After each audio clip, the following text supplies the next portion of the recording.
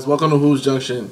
Today we just received the news that David Blatt has been relieved of his duties. Unfortunately for David Blatt, what he was doing was not good enough.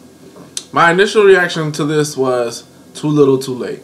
The Cleveland Cavaliers had a chance to fire David Blatt last season and they signed him up for one more season. They said, "Okay, we're not going to get rid of you. We're going to we're to stay the course. We made it to the NBA finals. We beat everybody in our path. This year was even better year for them. They were first in the East, unlike last year. And this year they're 30 and 11. They were ranked fourth offensively and ranked fourth defensively in the NBA. So top 10 in both categories that really matter when you're trying to chase the NBA championship. And these idiots went ahead and fired David Blatt from the beginning, David Blatt was meant to be the fall guy for the Cleveland Cavaliers. This is a, a shame. This is a sham. This is a mockery. This is any word that you want to throw in there. This is just quite, literally, it's just dis- despicable. It's disgusting to even, for, for me to even be making this video, makes my stomach turn. You Cleveland Cavaliers, you guys are top of the East. Your team is not the best team in the NBA, but you're not the worst team in the NBA. You're the you're the third best team in the NBA, and you fire your head coach, stating that there was a lack of fit, and Tyronn Lue will be the interim head coach. I hope this wasn't the plan all along to make David Blatt the fall guy and promote Tyronn Lue so he could become the new head coach for the Cleveland Cavaliers, because their problems are deeply rooted. They have nothing to do with the offensive system, have nothing to do with how many minutes a player's getting. It's pretty much just getting past the roadblock of appeasing LeBron James. LeBron James runs the Cleveland Cavaliers. He tells them what to do, how to do it, and when to do it. He he incited the trade for Kevin Love. Everything they've been doing has been per LeBron James. They're just not saying it. And David Griffin at the media session saying that LeBron James does not run this um, organization. Just him saying that, he's already acknowledging what what it is. He does run the organization because a real general manager wouldn't even have to answer that question. He would just say, "We do things based upon what we think is best for the organization, and that's that." It is it is disgusting, utterly disgusting. A coach that has his team number one in the East, thirty and eleven. They just they, a week ago they came off an eight game winning streak for him to get fired for somebody who was getting crossed over by Allen Iverson and stepped over. It just makes absolutely no sense.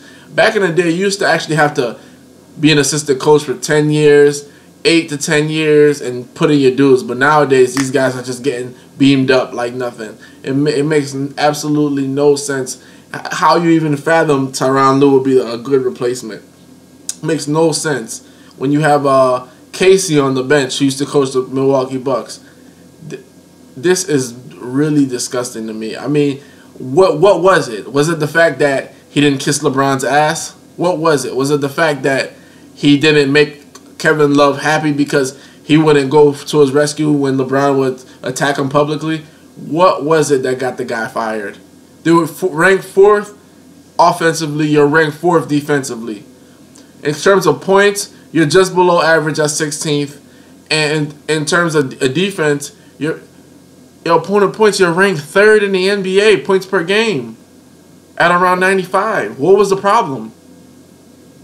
And I understand that everybody was saying that Kevin Love wasn't getting the ball. A lot of guys weren't getting involved in offense. Well, guess what, ladies and gentlemen?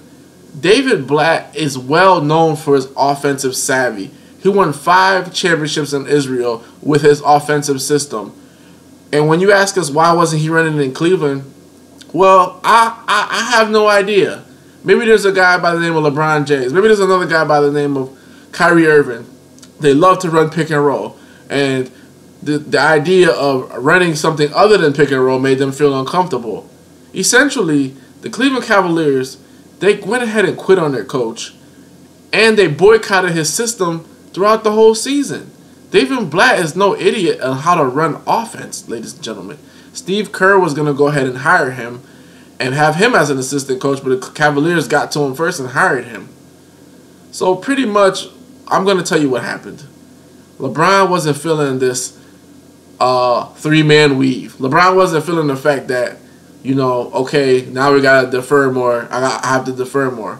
LeBron wasn't wasn't happy with that concept because when he came to Cleveland, his whole idea was you build around me, we win the championship on my back, I get all the glory. That's that, and that's final. What happened was they brought in a guy who wasn't a yes man. They brought in a guy who actually has accolades, not in the NBA, but in other leagues, who knows about the game of basketball.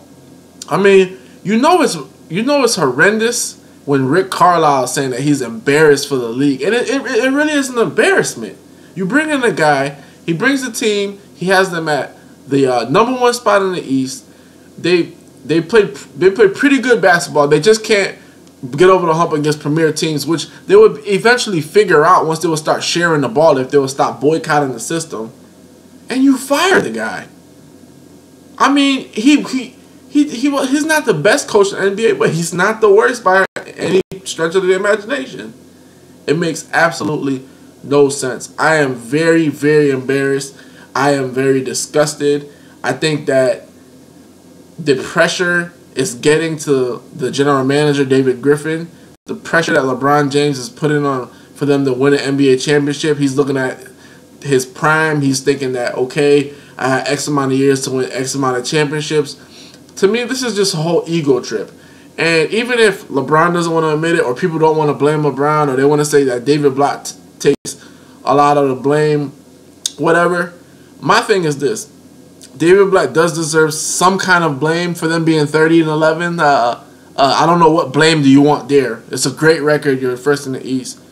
But the players have to take the brunt of this thing because what essentially what they did is they they've opened the door for the Chicago Bulls, Detroit Pistons, Indiana Pacers. When you're going through a lot of turmoil internally and you fire your head coach of a good team in the middle of the season, you're setting yourself up for failure, ladies and gentlemen. You're going to set yourself up for failure because now the continuity that you had during the season when you were winning games and the team was pretty decent, now you got to go ahead and go through a whole different person through a different animal. It's a whole different beast now. And now what you're going to be seeing is a lot more pick and roll, a lot more isolation by the Cleveland Cavaliers. This right here is a great, it's a huge debacle. It's a huge debacle. That to me, it's it's like the Golden State Warriors firing Steve Kerr mid right now. What for? And that's those are the kind of things that don't make sense. But when it's LeBron James, LeBron's league, and LeBron's organization as he oh he doesn't run the organization. Meanwhile, he's you know David Griffin's a puppet. You know it's it's disgusting, man. What I can attribute this to, this is similar to a per a, a boyfriend and girlfriend. Boyfriend cheats on his girlfriend. She forgives him. They get married a couple months later. Six months into the marriage, she says, "No, no, no, no. I still remember when you cheated on me last year. I don't want anything to do with you. Let's get a divorce right now.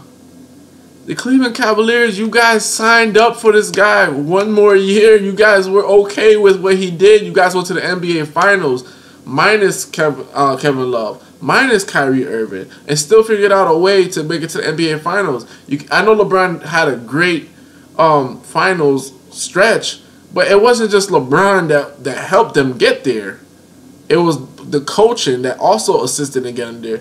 You don't remember all those big games that Dellavedova had, all those big games that J.R. Smith had. All of that was from the stuff that they were that David Blatt had them running when they didn't have Kevin Love and Kyrie Irving in the picture. All that was just the chess matches that were being taken place that he was doing. Eventually, you know, he, he crapped out because without the talent you can't win, but he took you to the NBA Finals, ladies and gentlemen, last year. It's not even a whole season, and you're going to go ahead and fire the guy. I'm utterly, utterly, I'm shocked. I'm shocked. I'm not even a fan of the Cavaliers. I'm just, I feel sorry for the fans because you, you, you guys don't know how to win. And when I mean you don't know how to win, you just haven't had a winning culture. And now that winning has been a part of the culture for the Cavs, they completely crapshooted it and just shot themselves in the foot. It's like a, it's like a person that's handling a revolver for the first time. You know, like a couple times they shoot, they're pretty good. But then that one time they didn't hold down that wrist, they get slapped in the head with the butt of, you know, the back of the gun. And that's what's happening here, ladies and gentlemen. You guys were winning. You guys had a winning record. Guys were playing decent. I mean, pardon me. Guys were playing decent. And you mean to tell me that you're gonna fire the head coach? And another thing is, you, David Griffin, and, and all the uh, other coaching staff, they brought back Kyrie Irving way too early. Kyrie Irving was supposed to come back after the All Star break, but due to the pressures of LeBron and them not playing too well, they brought Kyrie Irving back a little sooner than early, sooner than he had to be. And now look how he's playing. He's not hundred percent, and we could all see that on the court. You know, he's he he belabors sometimes, and sometimes he's just not there. He can't he can't get to the points that he wants to get to. His handle is still there, but his overall game is not there. So you mean to tell me that you're putting pinning all the fact that they're not playing at 100% now on David Blatt? If you would have just stuck with him as soon as they would have got to the playoffs, I think that he would have shaped up the roster a little bit better. I think that he would have seen what kind of actions in the offense they like a little bit better. He hasn't even been in the NBA for two whole seasons and you fire him. I mean, give the guy the courtesy of two whole seasons. I don't know what else to say about this organization. It is it is a sham. It's a sham. It's a mockery, man. It's a mockery. And David Griffin, your job isn't safe either. So the same way that you're citing uh, a different kind of fit, guess who's gonna fit out if you, if they don't win this year? You are as well. It's sad. It's sad that they want to win the championship so bad to the point where they don't understand when they're winning and when they're losing. And getting rid of your head coach mid-season when you're winning is a losing move. And I don't think that they understand that quite yet. I mean, maybe LeBron could play a little inspired basketball because somebody's not telling him the truth now. Maybe, you know, he doesn't like the way that the delivery. Because like, you could tell that David Blatt is not, he doesn't kiss ass. He's not a yes man. He's not going to kiss ass. He's not going to say, yeah, yeah, you know, we're great. I feel like I feel like this is I feel like progress. You know, he was saying he was like, you know, I feel like on a road trip we were getting a little beside ourselves. I feel like we were doing this a little bit here and there. You know, sort of like Phil Jackson used to do it. Take jabs at Kobe, take jabs at Jordan. I feel like you know people don't you don't need somebody to kiss your ass every day for you to get the point, for you to understand what's going on with your team. Not not at all. You know, you need people in your corner to tell you the truth. And I guess the truth was too it hurt too much uh, I guess he rubbed Kevin Love the wrong way, Kyrie Irving the wrong way, and LeBron James the wrong way. Because seriously, if I'm in that locker room and we have a winning record and my team is playing okay, it's not 100% yet, but it's, still a lot of season left. Halfway through the season. Still pretty good. And you telling me that you fired my head coach, I'm going to be pissed. Because if you told Stephen Curry we're firing Steve Kerr and we're going to replace him with Luke Walton – I bet you Stephen Curry will probably not even play a couple games. Period. Point blank. Period. You. This is the most disgusting, degrading, unimaginable thing that I I, I seen any organization do. It makes absolutely no sense. You guys were just in the NBA finals with the guy. With the guy. you go midway through the season, you haven't had a four game losing streak or anything like that. Nothing. The whole season, 30 and 11, and you fired a guy. It's it's a crying shame, man. It's a crying shame. This this is disgusting, man. And, and I'm not even a big fan of David Blatt, but what I understand is why bring him back just to fire him again. It's like JC said, they build you up to break you down to build you up again. You know, like why? What did he do? What exactly did he do? What didn't fit? His lips didn't fit to LeBron's butt. I mean, everybody's lips don't don't do that. Everybody doesn't bow down. Everybody doesn't kneel to the king, ladies and gentlemen. But now, the fire David Blatt, it's all on you. Everything, anything that's gonna happen from now, moving on forward, it's all on you. You fuck up, it's on you. You, you Tyronn Lue's not doing a great job, it's on you because you fired a guy that was doing a decent job. The team wasn't bad. You're the third best team in the NBA, period. You know, once Kyrie would have gotten his legs under him, or maybe if they shut him down for a little, brought him back, and once Kevin Love um, stop being stop bitching up or whatever the case is, and and they started running more action for him, things would have gotten way better. They're, just desperate. They're just so desperate to win the NBA championship that they're willing to cut the team off any kind of way. I, I, I, w- I wouldn't be surprised if they try to trade Kevin Love or if they. I wouldn't be surprised. Now with the Cavaliers, I'm not surprised with anything that they do. I wouldn't be surprised if they try to trade anybody, try to bring in anybody else. I wouldn't be surprised. This is ridiculous. This is like, this is crazy, man. This this makes no sense. Makes no sense at all. You know what I'm saying? It's it's it, I'm speechless. I'm borderline. I've never been like this speechless before. It's just ridiculous. But let me know what you think about this, man. I want to hear you weigh in. Do you think that David Blatt deserved to get fired? Do you think that things would have been getting a little bit better? Do you think that David Blatt was set up for failure from the beginning?